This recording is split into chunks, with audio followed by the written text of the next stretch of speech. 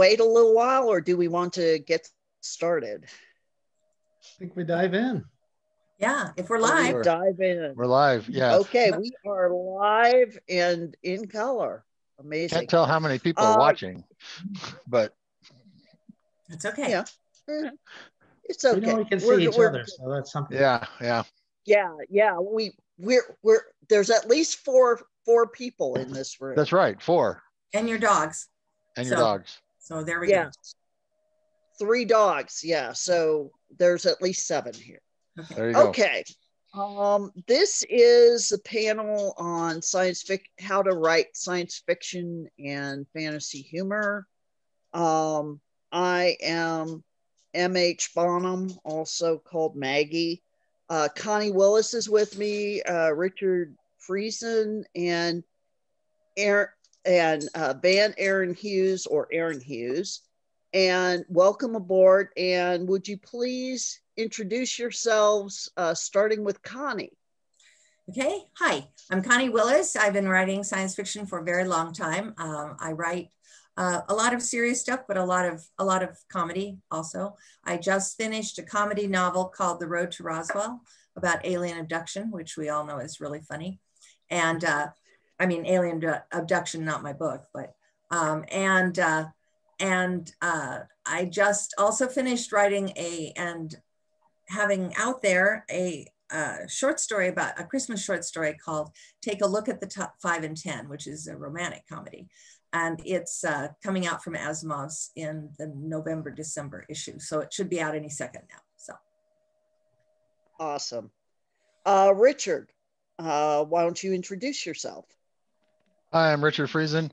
I write science fiction and fantasy, and I have um, two novellas. Eventually, there'll be more in uh, humorous superhero story about narcolepsy whose power is falling asleep. And since it's funny, we can show it backwards. like that. So there, narcolepsy is Yeah. backwards. Anyway, um, so yeah, his power is falling asleep, and he takes you into his dreams with him. wow. So then lots of fun happens after that. Yeah. Yeah. So Sounds Aaron? good. Good. Aaron. I am Van Aaron Hughes. I am a Denver author of science fiction and fantasy short stories, um, which have appeared in a bunch of different magazines and uh, anthologies. One of them was a winner in the Writers of the Future con- contest. Um, my latest was an online magazine called New Myths. And I have one forthcoming. My next story will be in F&SF, Fantasy and Science Fiction. Um, that's my third story in F&SF, but the first one that's actually humorous. So probably less than half, but a number of my stories are designed to be humorous, and whether whether they are humorous, you'd have you'd have to read and decide for yourself. Uh, I'm MH Bonham, also Maggie Bonham. Oh, there's a Ooh, has to cat. go with the dog. All right. Oh, Eight, eight. We have eight now. Um, Yeah. uh, yes. Um, I am a author of some 50 or so novel, uh, well, books, I should say. And um, I am here up in Montana. Um, although I originally was in Colorado for, oh, 20 some odd years. Um, anyway, so uh, I write uh, fantasy, science fiction, um, and urban fantasy. My latest uh, is a uh, my latest series is a humor, snarky kind of fantasy, urban fantasy, uh, which starts with the book that dragon was is was in no way my fault, and um, it uh, this series this is free on Amazon, by the way. So go pick one up. Anyway, so now that we've introduced ourselves, um, what what do you? Um, we'll start with Connie first. What do you see is impo- are important elements when it comes to uh, humor in uh, in science fiction and fantasy? Okay, I'll start with one because I think it'll take us the oh, hour plus to to get to all the elements. But um, one of them I think is uh, uh, that uh, you shouldn't rely on jokes. I'm not saying that jokes can't be part of and funny lines can't be part of of comedy, but too often people just think writing comedy. When you say it, they immediately think jokes. And most of the really funny people I know in life do not ever tell jokes. You know, they never do the, you know, three people walk into a bar kind of story. Uh, uh-huh. Jokes depend totally on punchline and they're, they're iffy in lots of ways. And uh, although Terry Pratchett somehow uh, managed to work in a number of, of jokes and puns into his work, he still didn't, he's, that still did not form the basis of his humor. And I think it's possible to write comedy um, that is does not have any jokes in it whatsoever. And um, the the humor comes from the from the lines, the the conversation and the banter comes from the overall attitude toward life, comes from uh, what I would call slapstick, although I don't really mean that, but but situational humor where you you know uh, what's happening physically to the characters. Um, and just just all kinds of different elements and most writers use a combination of them i think the other thing is no don't don't rely totally on jokes bad idea to rely totally on jokes. And secondly don't rely totally on one kind of humor. Uh, there should be a combination of it. And i think terry pratchett is an excellent example of that. He will have he will have situational humor. He will have um, slapstick. He will have banter and, and character interactions that are funny, and he will have jokes also. Uh, and then a whole variety of strange linguistic humor and, and uh, all kinds of things. And he never, he, he's got this whole bag of tricks. And I think that's what a comedy writer should hope to have is a whole bag of tricks because any one kind gets to be predictable and to be problematic for the writer. That anyway, that's my feeling. I don't know. Maybe people disagree with me on that. Uh, well, I certainly agree with that. Even stand-up comedians these days don't tell jokes. I mean, back right. in vaudeville days, they'd tell one joke after another. Now they tell right. stories. Right. And there are humorous bits to it, but it's not. There's not. There may not be a punchline at all. They're just funny people. Right. Right. Right. right.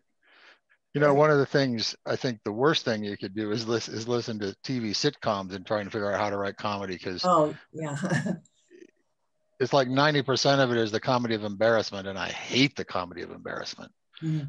um, so i would you know avoid that kind of thing um, but yeah different not telling jokes and setting up the humor all of that yeah it's, it's a little like you know in a lot of storytelling you're saying what's the worst thing i could have happen to my character in humor you can say what's the funniest thing i can have happen to my character Right. And often that's the worst thing anyway. Right. But, right. but yeah. That's true. Yeah. Um, my question is then, um, you know, to a large degree, I felt that um, humor often comes from the unexpected, uh, something that's surprising that you didn't expect in a uh, amusing way. Uh, go ahead and I see you nodding, Connie. Why don't you, uh, okay. Oh, yeah. Okay. Mark Twain, uses, Mark Twain uses this all the time. the comedy of the unexpected, where where the sentence starts in one place and then ends up in a totally different place from where you thought it was going to go. His comment about he had the warm beatific smile of a Christian holding four aces. And that the end of that sentence is not where you thought the first part was going to go. And he did he did that all the time. He talks about a, ho- horrible flood and all the, all through the United States, terrible terrible flood, uh, historic Noah type uh, proportional flood, which uh, meant that East Texas got a quarter of an inch. Yeah. You know, not you know it's not where you think it's going to go, and the surprise is why why you laugh. The other person who did that was uh, Gracie Allen of Burns and Allen. And she was, she did what's called tangential humor, which is um, she's looking at the world from a completely different angle from you. Um, and my favorite Gracie Allen bit, uh, although there are like thousands of them, was one where um, so so George Burns gives her a, a beautiful fur coat, and and uh, she's just she loves it. And he says yeah it's you know it's hard it's a mink coat. And she says oh it's it's hard to imagine he says um, that such a beautiful coat could could come from such a Weasley looking little animal? And she says, Oh, George, you know, I think you're cute. And so not not where they thought that was going. And and she's viewing it uh, just from a different angle. It's, it's really hard. I do not recommend actually trying to do Gracie Allen humor because it's really hard. You have to have this off the wall view of the world that's different from anybody else. You know, um, when when they used to have Carnation Milk as their sponsor, and um, and somebody in the course of one of their shows brings her a bouquet of carnations, and she says, "Oh, these are just gorgeous. I'll take them right out to the kitchen and milk them." And you know, and you're like, I could not have thought of that in a million years you know and i don't think a room full of script writers could sit around and think of it in a million years apparently gracie did all her own tangential jokes so i i, I say i don't recommend i mean i think it makes for really effective humor but it's it takes a certain sort of quirky mind that looks at things from a really left-handed view and uh and it's hard to do so. What was the question again? Uh, the question was, uh, well, basically, I mentioned that um, I've noticed that humor often has to do with the unexpected, oh, something, right. something coming at you in an opposite direction that you expect. Um, would you like to elaborate on that a bit more, Richard? Sure. Um, I mean, it, even just with narcolepsy, the the whole premise is that. I mean, the superheroes are supposed to be strong or fast or you know shoot lightning bolts or something, and he falls asleep. and um, even to the villains, you know, he grabs them and falls asleep. Um, you know, so just that can create funny situations because no one's expecting it. Um, but that is nowhere near all of it. I'm, I'm going to make a confession here. I learned a great deal of what I do and what I did in narcolepsy from Connie. Um, there's a there's a article you wrote. It's actually out there on Scribd. I'm going to put it in the chat so everybody can have a link to it. Um, all panelists. That's not what I want. Um, but um, there's a very good uh, article on comedy and the different kinds of comedy and and yeah just and one of the things i do with with narcolepsy is come up with the absurdist comedy because they're in actual dreams so like anything can happen and i had uh um so yeah you're going along and talk about unexpected you know you're you're going along and oh i don't know um, right you're in the Wizard of Oz haunted forest and suddenly you're playing Munchkin football. um, yes. You know, so Aaron? Yeah. Uh, Aaron. Fo- yeah, following up on what you just said, I, I love absurdist humor, but often that's the key to it. It has to be something absurd that you didn't see coming. If it's something absurd right. that you anticipated, it's just a whole lot less funny. Um, True. My, my story that's coming out in F&SF involves playing the sport of curling with aliens and what I what I hope makes it fun is the main character is this middle-aged guy living in Denver who it's just coincidence that I'm a middle-aged guy living in Denver and he has a teenage son who's really cool. And it's a coincidence that I have a teenage son who's really cool. and you realize over the course of the story that when they meet these aliens and all this crazy stuff is happening, the son knew every aspect of what was going to happen before it did. And it's just the father who's clueless. And I hope some a lot of readers don't see that coming, although most parents who are reading it know that their kids always know more than they do about right. what's going to happen next. Right. I think that uh, that brings us to to the comedy of anticipation, which is the opposite of the unexpected, where in in certain comic works you know exactly what's going to happen. You know, um, in every P.G. Wodehouse, Jeeves, and Wooster story, mm-hmm. Bertie is going to want to buy a, oh, a, a yellow dinner jacket or a pair of purple pajamas or something completely, a straw hat that's completely unacceptable to Jeeves, who is the perfect gentleman. And uh, over the course of the story, uh, Bertie will insist on wearing this. Um, Jeeves will grudgingly go along. they will then find themselves in a situation where Bertie is in so much trouble that the only way out is to appeal to Jeeves, and Jeeves will promise to help him on the grounds that he gives up the yellow dinner jacket or the purple pajamas or whatever. And um, this is it's part of the fun. You know, it's not the unexpected. It's like you settle down with the Jeeves and Wooster, Jeeves and Bertie story, and you think, oh, I see what's where this is going. I wonder what kind of trouble Bertie will get into. I wonder what will happen here that will end up making him give this up. And you just want to say to poor Bertie, just give up the pajamas. Give them up right now. It will save you so much trouble in the long run. But it it is a you you can't do it with all kinds of comedy, and you can't do it with like you, you can do it over the course of a novel. I wouldn't recommend it like for a short story because it you've got to it's got to have a long setup and you've got to become familiar. But you're basically the humor comes from the fact that you're inviting the reader in. The reader becomes a part of the story because he's like, I know what's going to happen here. This is great. And uh, and then is right with you every step of the way rather than being surprised at the end.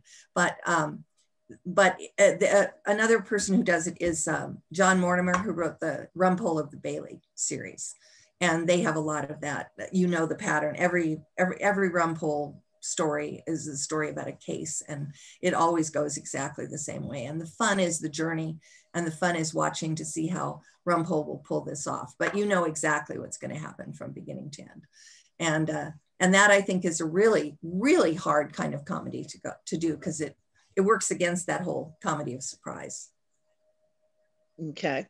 Okay, fair enough. Uh, what about um there's a it's it's a fairly new term in comedy, but um it certainly has been an older one, and that is snark. Um where you have the banter and the the the the uh you know the wordplay and and things like that. Um where do you find the humor in that? Do people find the humor? Anybody? I mean you know butch cassidy and the sundance kid that's you know about all it is is smart ass dialogue. Uh, one of the oh, things I'll that, kill you. I mean yeah. Um you know and, and actually you know sometimes you wonder about people not figuring this out. It's like Spider-Man in the comics is all about smartass dialogue. Right. And right. in the movies, he's not a smartass. It's like, come on, mm-hmm. guys, this isn't that hard. In fact, some ways I think smartass may be as easy a comedy to write as anything. Yeah. Um, it, it's you know mm-hmm they play off each other. And I oftentimes I'll have smartass dialogue in my serious fiction. Um, it's it's a way for the characters to relieve tension and and also you know relieve tension for the readers and stuff too but right. but, yeah so. Mm-hmm. yeah. So um what would you say are uh elements of um of good comedy? It's funny it's fun okay fair enough yeah. does that mean but you know I often hear that what is funny to some people are is not necessarily funny to others. Um, how how do you get your reader along for the ride and find it humorous? I think, humorous. I think one of the things that you have to do is, um, well, either either you have to know your audience really really well, and you have to know who your audience is, which is really hard for for writers because it's whoever buys your book or or reads your story and you don't have any control over that. But i think the um, i i'd like to hear what other people have to say about this but i think often one of the techniques is that you're you're scattering in things kinds of humor for a lot of different audiences things that different kinds of people would like i know um, you were talking about you didn't like the sitcom. I, I agree with that mostly, right. but um, but I think like something like Big Bang Theory did a really good job. And one of the mm-hmm. things when we first started watching that, uh, first of all, my husband's physics teacher friends all called us and said, "You have to watch this show. It's it's made for for physics teachers. It's a physics teacher show, and the humor is hilarious for the physics teachers. And then at the same time, I was hearing from my science fiction friends who were saying, "Oh my God, you have to watch this! It's the science fiction, you know, uh, humor is just great. It's definitely a show designed for science fiction people." And then uh, a couple of my friends called and said, "Okay." I think this has all the elements of a romantic comedy, which you always say you like. And so I, I think you should watch this show. And it had, in fact, all of those things plus slapstick, um, plus plus wordplay, plus snark, plus just you know all kinds of things. And and it was one of those where if you aren't laughing at this joke, you're laughing at the next one or the next one, and they're coming really fast. So I'd like to know what you guys think about. I that. you know I agree with that. I was I was going to think a lot of it is using different kinds of humor and different kinds of humor both in technique and situation so that what's funny for one person might not be funny for someone else and vice versa and you're right uh, when i said te- uh, most television big bang theory did a fabulous job of not doing mostly comedy of embarrassment there's Right. always a little Right. but but Right. mostly not and there were other ones even early on um, two and a half men was really good it got later into other stuff that was more comedy of embarrassment but but um, you know so there are good good comedy shows out there but i think you're right i think it's about writing different kinds of humor so you can get different people in and Mhm. laughing I, I think it's helpful to bring in different types of humor and you can connect with more readers. I don't think there's any way of getting around the fact that humor is subjective. And Mhm. if something makes you fat, laugh, it's funny to you. And if it doesn't, it's not so funny to you. Terry Pratchett, I think, hits on every level of humor I can think of. And yet I know people who just, they read it and they don't laugh. They don't think it's funny. And there's no arguing with them. You know, I think it's hilarious, but it's subjective. Right. Yeah. Yeah. Now, when you say uh, comedy of embarrassment, uh, Richard, what uh, for our audience, what does that mean? Well, I mean, basically, it means taking your characters and having them being a lot of times idiots and getting into embarrassing situations, and and people are just laughing at them because they're being the the character is being embarrassed by whatever's happening or getting embarrassed. and And, it's at, not with. yeah, yeah, it's at that there. That's that's part of the biggest thing. You're laughing at the person more than with them. Yeah, Mm, very Okay. good. I one of my favorite episodes of of uh, Big Bang Theory was one where um, they always tease uh, you know Howard about not having a doctorate and you know and um, wanting to wanting to be as good as the other guys and so on. And it's kind of a running joke. And uh, but there was one episode where Penny had had something to drink. I'm sorry could have had something to drink and she made a joke. They were all making jokes about Howard. And then she made a joke that went too far.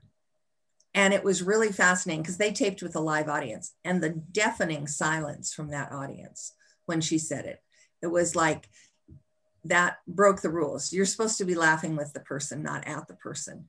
And it was, and then the rest of the whole episode was based on her attempting to atone for that.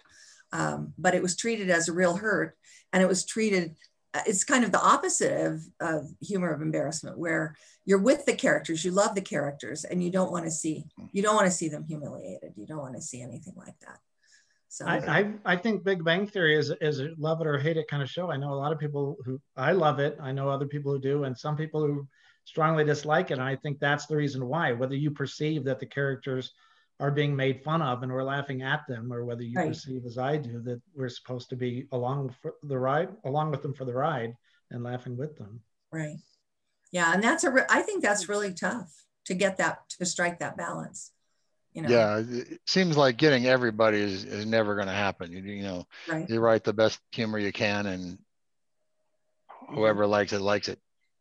yeah That's uh, that's true. Um, let's say, for example, you uh, decide that you're going to be writing a humorous story.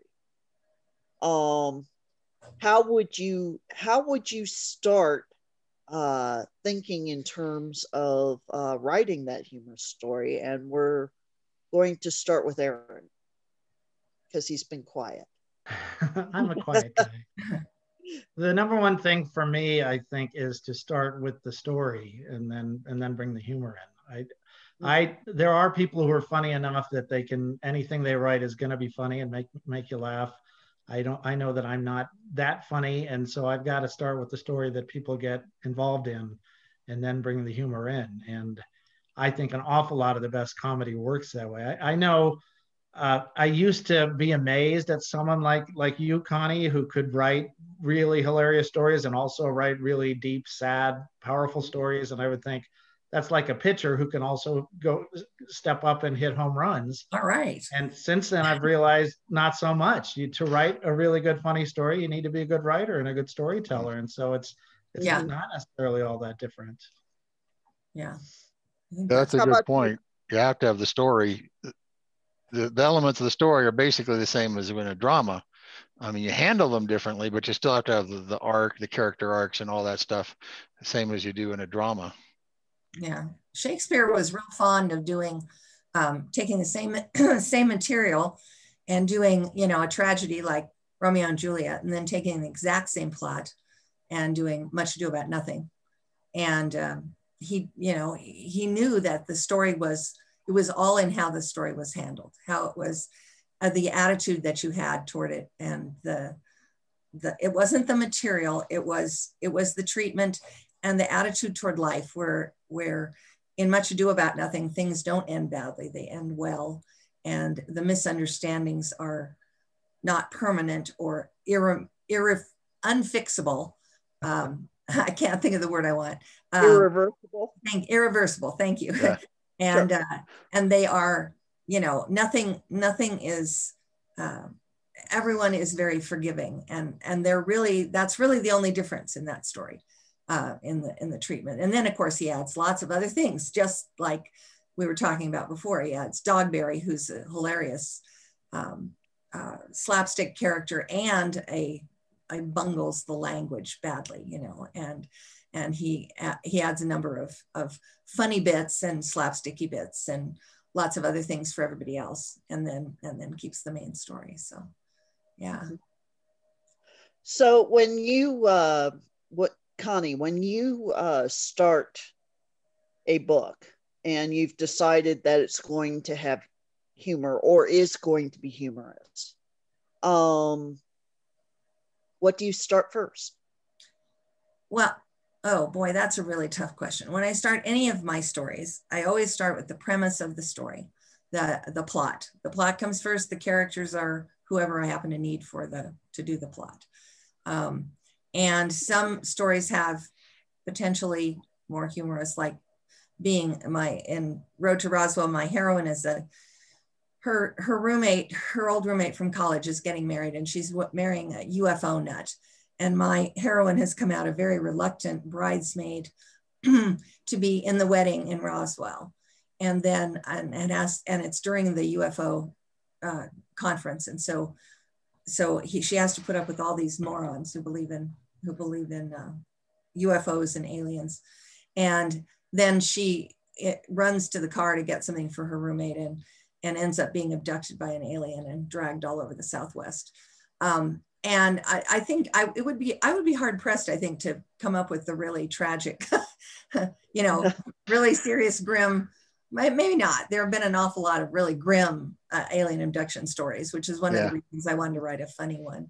But um, but uh, I'm I'm always thinking in terms of the situation rather than rather than the humor. And I, I and I don't. Somebody said was it Aaron who said? Oh no, it was Richard who said you have to you have to add the humor later. You think of the story first and then add the humor. I'm wrong. If, I'm sorry if I got that wrong, but um, the uh, but it's not like you plug it in or add it on like like sticking, you know, gumdrops right, on top right. of your cookie. It's uh, it's built in, but it's not your top.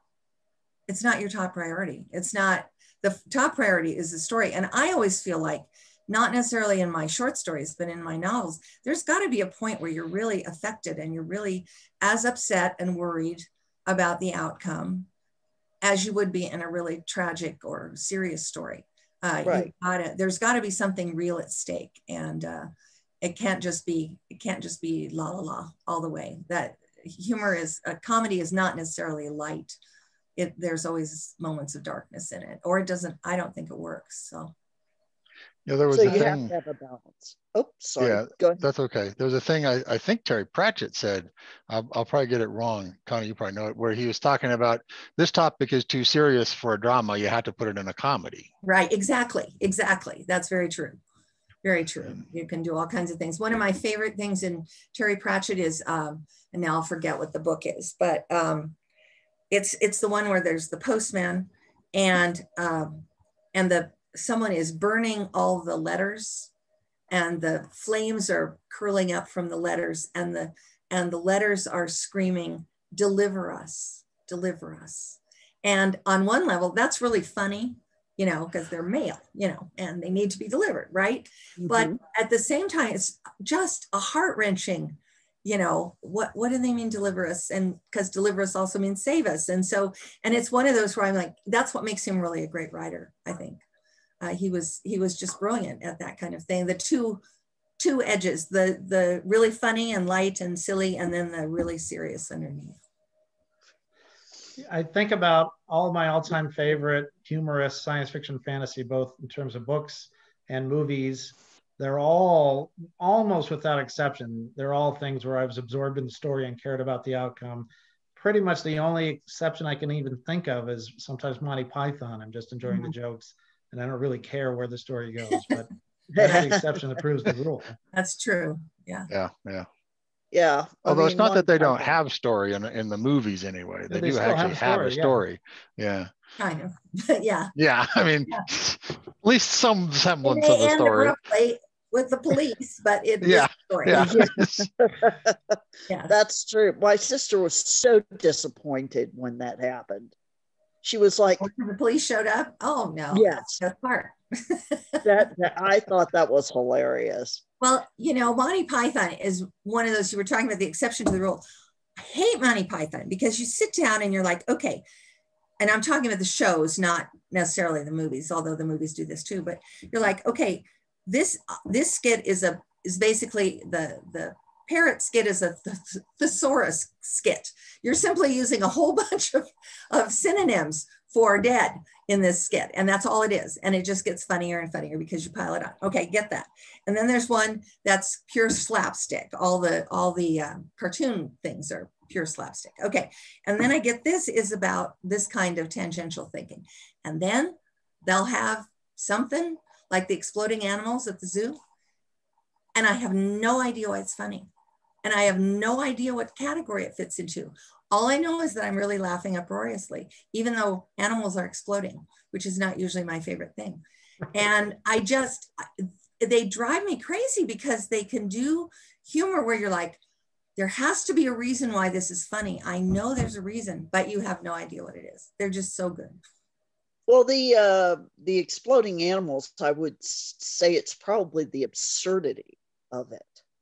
It's just Well, so absurd. Well, they're You definitely really- absurdist. Yes. Yes. They Yeah. are. The fish slapping, all those things are. Oh God, yeah.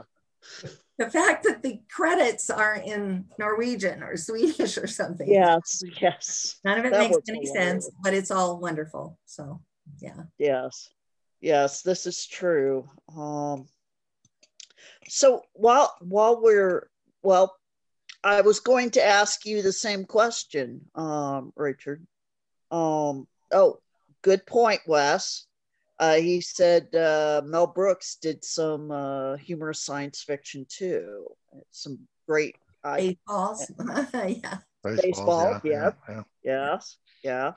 It was very, very funny. Um, one of the Now things that's satire, right? Right. So satire is a particular brand of humor and and has to function a certain way because you ha- you're taking something that exists and twisting it into something funny.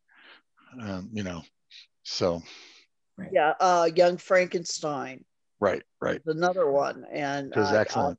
think oh, amazingly so. Yeah. Um, I was going to ask you, uh, Richard, uh, what do you uh, start out with uh, when you're thinking about? I know that you start out with the plot, but certainly you have an idea, especially with narcolepsy. Right. Well, narcolepsy, I started out with just his superpower. How can this be a superpower? And the first book starts out with um, he doesn't know anything about this yet. So it's a it's kind of it's an origin story, which can be problematic in some ways.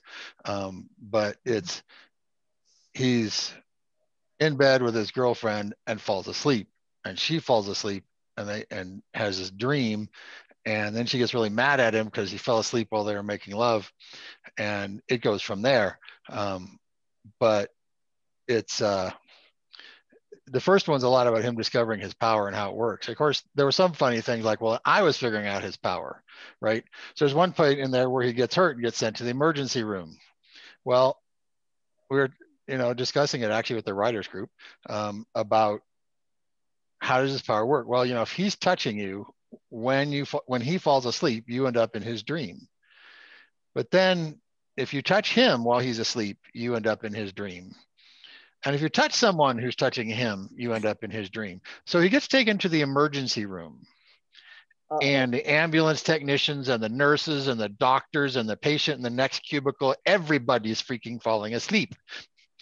And, you know, so it's, it, you know, that sort of thing happens. Um, and interestingly, I've, I've actually, you know, the second one, I actually you know, did kind of the Terry Pratchett thing. I had a, the main villain is actually attacking gays and transsexuals and all those sorts of things as, you know, evil sinners.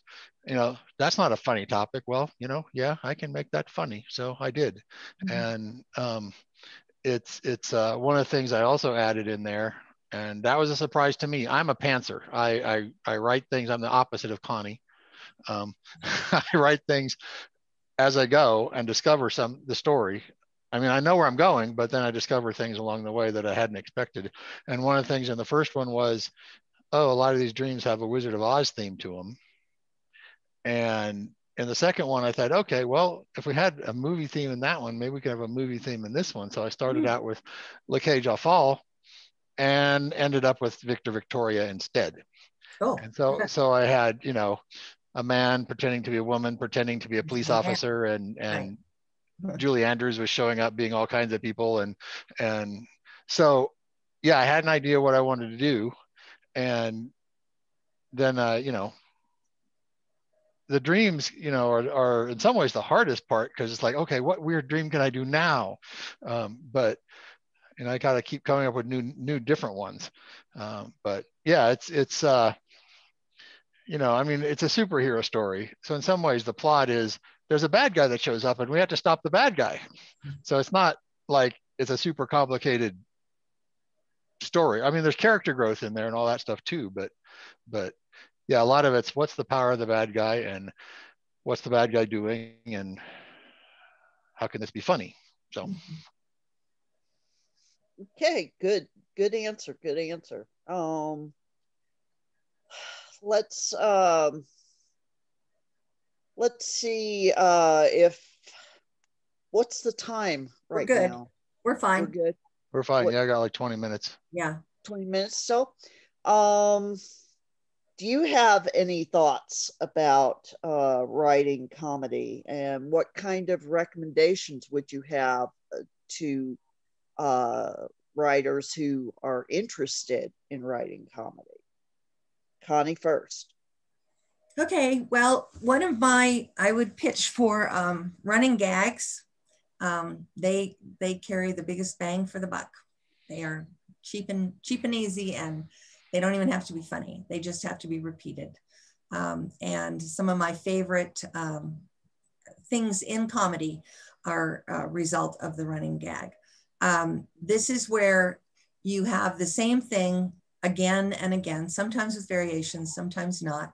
In the movie Thoroughly Modern Millie, um, the elevator is was had showgirls practicing their routines in it too much and they broke it. And so now everybody who goes up and down in the elevator has to dance to get it to move from floor to floor. Okay. So the first couple of times they get in and they have to dance and that's funny. And then and then the very austere bad guy, bad villainous gets in and you're and you look at her for a minute you're like, "Now wait, how is that going to work?" You know, she's obviously not going to do a lively dance. And then she does a very quiet, sedate soft shoe and gets herself to the top. And then at another point, uh, Julie Andrews is um, uh, trying to vamp her boss, and she's all decked out in a 1920s vamp outfit. And she gets in, and you think, now what's she to do? Because if she does a dance, that's to ruin her, you know, uh, vamp kind of approach. And she gets in, she gives one gigantic hip thrust, and the elevator just shoots to the bottom and so in each case there's there's a variation but the result is every time somebody gets into the elevator you're like okay what are they going to do now? And you're already predisposed to laugh. And when you laugh you're laughing at an accumulation of all the previous times in the elevator before.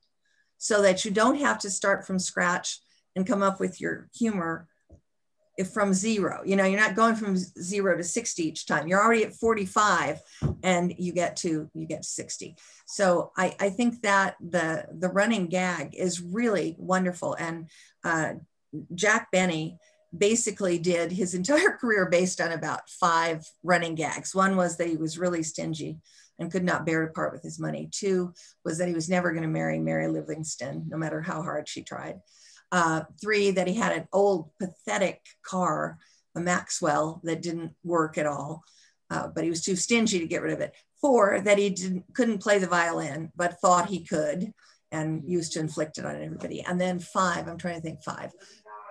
Uh, what? Oh, 39. Thank you. My husband's shouting 39 at me. Yeah, he was, he would tell everyone that he was 39 years old when clearly he was not. Um, and so he somehow made an entire career out of those five running gags. And one of his funniest moments was when he is robbed on the street. And this guy says, stick him up. And then he says, your money or your life. And Jack Benny's kind of, hmm. and he said, didn't you hear me? I said your money or your life. And he says, I'm thinking, I'm thinking.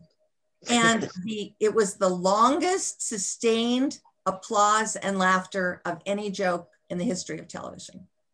And that was because they weren't laughing at the joke. They were laughing at the joke plus all the previous times that he had done variations of that joke before. And, and yet so, he he did the same joke over and over, but he kept it fresh. It was yes. new every time. It wasn't right. the same joke every time. It was based on Right. And and so he kept it fresh, exactly. which is also important. You can't do the same joke over and over again. No, no. And, and yeah, and running gags, uh, if you have variation, and then that's part of the fun. But once again, you're drawing the person into the story themselves. So you're a participant. You're not just an observer sitting back and laughing. You're you're a participant, I think. So Connie, you try to think about how to build up running gags when you're writing a serious, uh, a humorous piece in general, do you feel like you approach writing humor differently from writing a, a more somber tone no. work? No, I use running gags in all my work.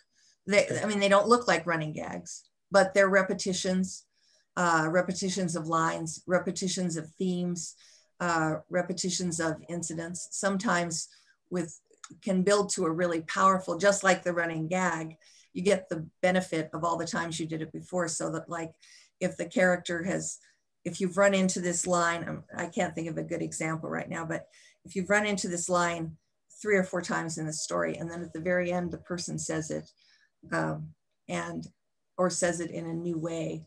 I'm thinking, forget the Alamo from uh, Lonesome from Lone Star. Um, it just breaks your heart. You know, it's the same impact, except instead of laughing, you're you're crying or you're profoundly touched or something. So, yeah, running gags are everywhere everywhere in um, in the movie Spotlight about um, the the Catholic Church scandal, the pedophilia scandal, uh, and it's the story is about the the Boston reporters that broke that story and uncovered the horrible extent of of the scandal. Um, and uh, in there, one of the things they do, which I consider a running gag, is um, they they start out and you're not really totally aware of this but it's boston so there are churches everywhere. So if so there's they're meeting and you can see a church through the window.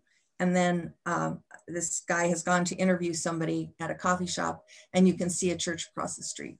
And then somebody goes to the hall of records to look something up and he crosses the street in front of a church. And and in each shot if you watch the movie carefully the churches get larger and more looming and it, it's sort of a stand-in symbol for the power of the church the omnipresence of the church and what they're up against, what these five little reporters are up against trying to break, you know, break into this. And I just watched All the President's Men and uh, listened to the commentary for the first time with Robert Redford's commentary. And he said they did the same thing with the government buildings in uh, All the President's Men, or rather, Spotlight did the same thing as they did because All the President's Men is older. But um, they where where the you see the guys and then you see the looming, you know, uh, Capitol or the looming White House. And uh, they're always shot from below so that they really look big and looming. And that it, it helps paint that picture. But it is a running gag. I mean, it's a, it, we don't think of it that way, but yeah. Yeah, I would That's say a- every, te- interesting. every technique that you use for comedy applies to everything that you write. So Well, so that's what I was getting at. What makes it when you're using the same techniques? How do you make one story end up humorous and one story not? And, and the reason I'm asking is, I know some people like I'm thinking of one fellow in particular who uh, is one of the funniest people I know. His hu- fiction is almost always very somber, and I'm always saying, "You're so funny. Put some of your humor in." So, how would you tell someone like, uh, uh, how would you help someone like that to to remember to add more wit and humor as they're going along using the same techniques that they might use in a more serious story? I have no idea. Richard, do you have any idea? Yeah, that, I mean, yeah, that's a hard one. I mean, Yeah. I guess the question would be, you know, start with why is the work always somber versus versus funny? Mm-hmm. Um, you know, why are you writing this instead of that? And see if we can dig deeper into their why they're writing and stuff. Um, but I mean, yeah, I never necessarily thought I was going to write humorous story until I picked up Narcolepsy. You know, I've got snarky dialogue in pretty much all of my stories, but but humor itself um, was not something I thought I I could I, I could do, and then I went and did it. So, um, Yeah. Well, and you don't want like the the problem with humor is that like if you're telling, I'm trying to think if there's anything funny in Spotlight. Um, I don't think there is. I think the feeling was that anything, any funny lines, any funny dialogue, there's some kind of ironic dialogue and some sarcastic dialogue in the movie, but otherwise, I think they felt that this was a really serious issue and any humor would undercut what the power of what they were trying to do you know? Not that anybody would make jokes about pedophilia but just you know that that joking about anything would cut into the building this horrible dramatic it's one of those dread it's like a horror movie. As you think you know there's this minor thing going on and then it gets worse and worse and worse and you keep uncovering more and more that's hideous going on. Um, so i think people make decisions about what should be in and out. And I have sometimes taken out dialogue, which I just thought was great dialogue and very funny, but felt that it worked against the overall theme of the story. You know, Mhm. so I don't know. Maybe he's right. Maybe you should leave it out or figure a way to twist it around so that he's using the same techniques, but to a different end. So, Yeah. Um, one thing I have noticed, um, and it was the first short story I got published. Um, I had written it according to what I suspected my reader was looking for when I wrote the particular story because it was in a particular anthology. And so I had a mental vision of the type of humor that the uh, that the editor was looking for because of the type of people who um, because of the readership And I'm wondering if you have ever done that or have thought about that when you write humor. Um, Richard? Not particularly, no. I mean, I'm, I'm, you know, write things I'm interested in and hope someone else is interested in them too is mm-hmm. about it. And that, you know, it's the same thing we kind of said about, you know, we hope hope it's funny when someone else reads it. Uh, right. But how about you, Aaron? I can only think of one time I've done that. Um, one of my humorous stories that was published was deliberately intended to be a bizarro story, which is a subgenre that I like to read and very mm-hmm. strange little subgenre with a lot of absurdist elements and over the top elements. And I like to read it. And one day I was thinking, wow, I could never write anything like that. And as soon as a thought like that hits my head, then I got to try.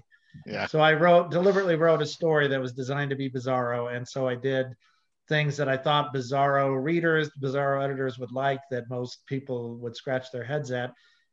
The one that I remember is the story begins with this outrageously long run on sentence and everyone in my writers group said, what the hell is this? You, you got to edit the sentence. This is terrible. And I kept it in there. And, and the Bizarro place I sent it to bought it because I, I bet that they liked that, that opening. But usually, yeah, I'm, I'm like Richard. I, I write what I, what I feel like writing, what's, what I hope will come across well, but I'm, I'm not writing it toward a particular group or person. Mm, okay. Okay. And how about you, Connie?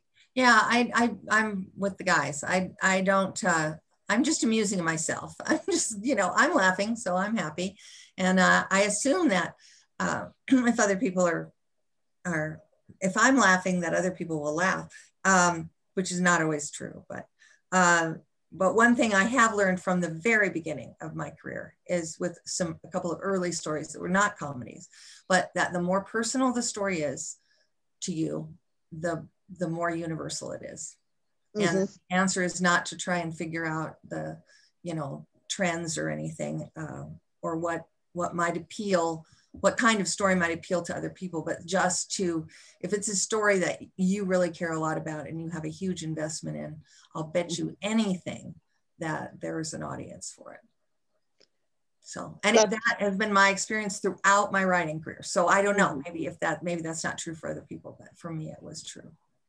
Well, um, I agree with you uh, for the, you know, I agree with you for the most part. Um, it's just, it was kind of a funny uh, situation where, um, where it, I did write for a particular group and oddly enough, it won an award, but you know, it, it, it comes down to, I guess it was funny enough. And in fact, the award givers were completely like, how bizarre is this person going to be when we meet and, you know, and the other person said, no, no, I know her. She's okay. you know, she's she's normal. But you know, again, um, we can be uh, we can be uh, judged according to our writing, I guess. So there you go. Um, what uh, what elements do you use, Richard, when you uh, when you uh, elements of comedy do you use when you write?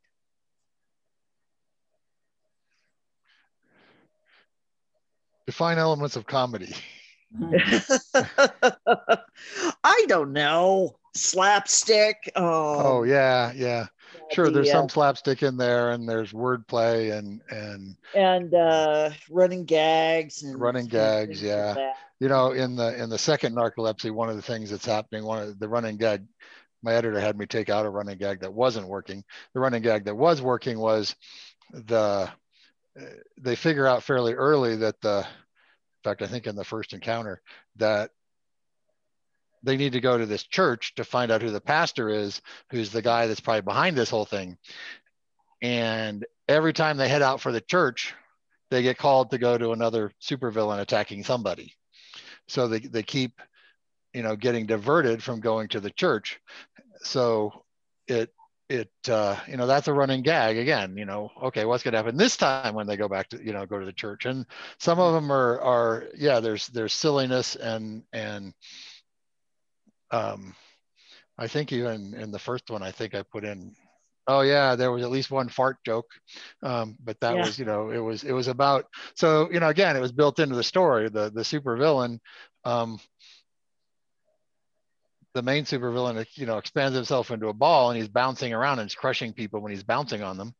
And when he comes out of being a ball, well, that's when it doesn't smell very good. so, you know, lots of different kinds of things. And that's one of the things I do try is to do lots of different things. So good, good. And how about you, Aaron?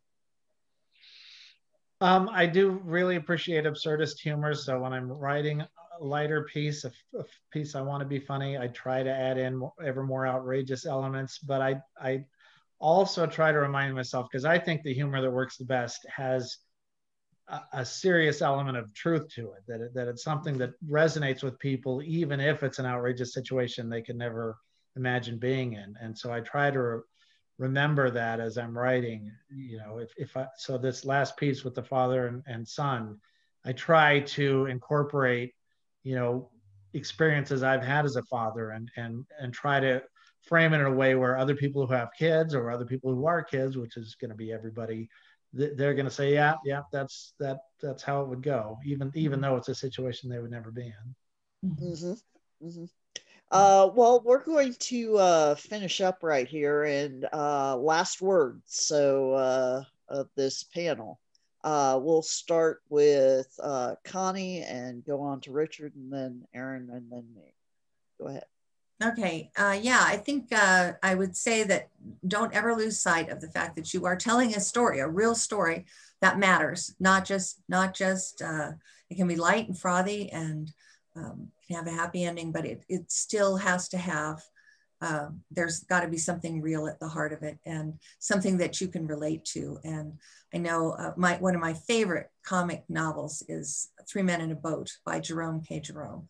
And it's, mm-hmm. it's so silly. And it's all about these three guys who are trying to just go up the River Thames on a boating weekend and it, it's about nothing and it's, it's kind of a Seinfeld episode in that way. Uh, and it just uh, it's it's fun and it's light. But the truth is you can totally when he does the chapter unpacking you you totally relate to that. You have tried to pack and couldn't remember if you got your toothbrush in and then had to take the whole thing apart to see if your toothbrush was in and it was in.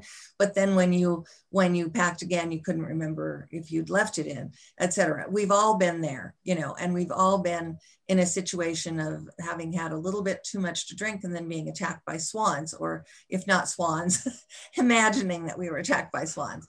And, you know, or uh, there, my favorite chapter is the one of the, the songs, uh, the comic songs, where you're subjected to someone trying to sing a comic song in front of other people and he can't remember the words and he and he gets the two different songs confused the, the chorus from one and the verse from another and and it's humiliating and painful and the um, and the pianist retires because he has a wife and children to think of and etc and it's just it's just wonderful but it's all stuff that you have lived through. It's only a tiny exaggeration of what you yourself have experienced. And so uh, i think if you keep your your humor firmly grounded in things that have happened to you and things that people can relate to. You're good, like your dog climbing on top of you there and completely smothering you. yeah. Um, just really quickly, I think what Connie was saying earlier about, you know, dig for the truth. If it's funny or if it's not funny, you're still digging for truth and bringing truth into your story. Um, and then just how you treat it to make it funny. So we're almost out of time. Aaron? Yeah, I'll, I'll just quickly uh, add to that. The, the, converse of that is I find a lot of my more serious science fiction stories are just things that I was noodling about. Oh, what if you're on a planet where you know, symbiotic or- organisms do this? But humor uh, much more often is inspired by things that, that I experience in real life. And, and it's not even necessarily that I'm thinking, oh, that'll make it funnier, but it's just it's something that really happened, and a lot of times it really was funny, and so into the story it goes, and hopefully that helps the story to be funny. Right. Good job. Good job. Um, I want to let you all know that um, we can be on the Discord in the Discord uh, chat room for a little while. So if you have any questions you want to ask some of us, um, a few of them. Yeah, I, I can't join you for that. I'm sorry, but um, that's but uh, at least I can, and maybe uh, maybe Richard and Aaron can. So, so thank Yeah, you. you can. for So, joining us. All right. you. Thanks, everybody. Thanks. Thanks. Bye. Bye. Have a great con. Bye bye. You too. Bye.